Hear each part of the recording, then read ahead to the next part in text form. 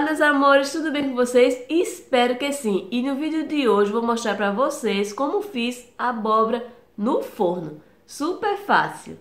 Se você chegou agora aqui no canal, meu nome é Nívia Santos e se gosta de receitinhas saudáveis, está no canal certo.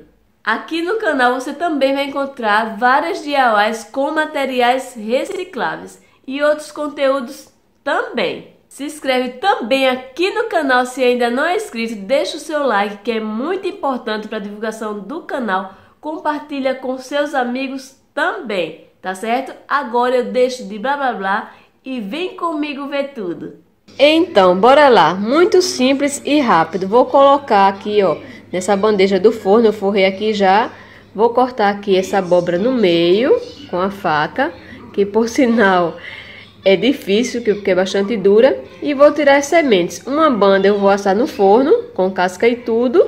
E a outra eu vou tirar a casca e vou cortar em pedaços e vou congelar. Ok?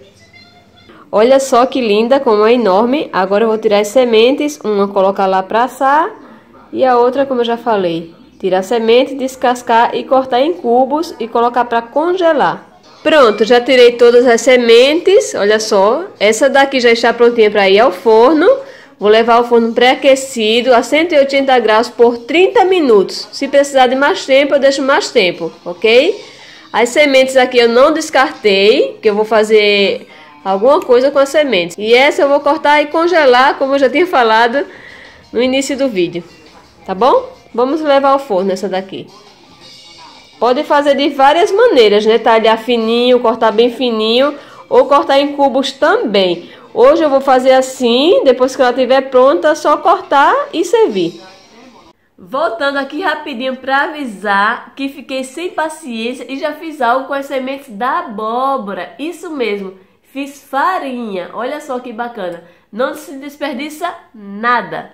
Essa farinha tem vários benefícios para a nossa saúde vitamina A, B1, B2, ácido fólico e outros benefícios.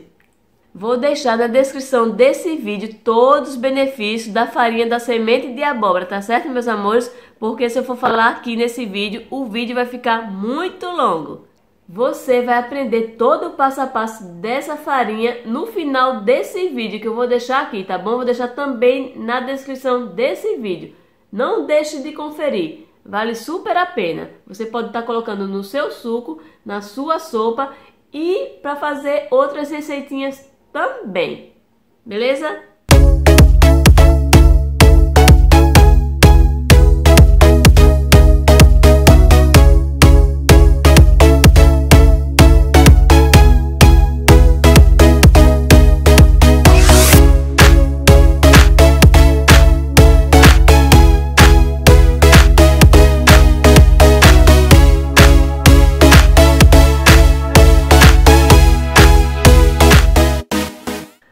Pronto, já está prontinhas, levou mais de 30 minutos, levou 50 minutos. Olha só, tá bem molinha. Agora é só cortar e servir da maneira que quiser, tá certo? Como gostar, como, como preferir. Eu vou servir com um pouco de sal e azeite. Bem simples.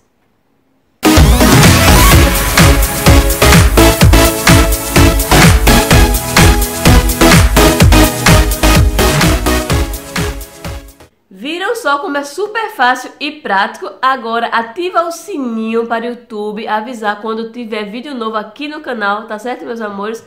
Muito obrigada por assistir. Um mega beijo. Fica com Deus e a gente se vê no próximo vídeo. Tchau, tchau.